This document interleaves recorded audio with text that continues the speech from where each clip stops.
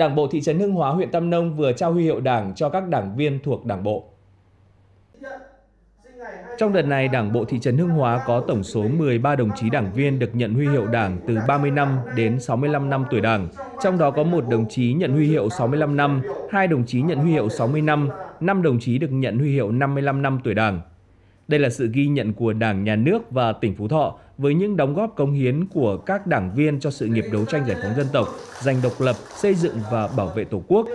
Lãnh đạo huyện Tam Nông mong muốn các đảng viên giữ gìn sức khỏe, tiếp tục nêu gương sáng, động viên con cháu phát huy truyền thống cách mạng, thực hiện tốt các chủ trương đường lối của Đảng, chính sách pháp luật của nhà nước, phân đấu học tập, lao động để góp phần xây dựng quê hương Tam Nông nói riêng và tỉnh Phú Thọ nói chung ngày càng phát triển. Trước thềm xuân mới, lãnh đạo huyện cũng chúc các đảng viên cùng gia đình đón một cái Tết cổ truyền đầm ấm vui tươi hạnh phúc.